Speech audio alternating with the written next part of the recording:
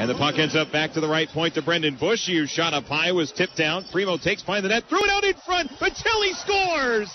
Great pass from behind the net. And Chase Primeau finds Matias Maccelli, who ties the game with under a minute to play. His seventh of the season, and the Fighting Saints have clawed even one all.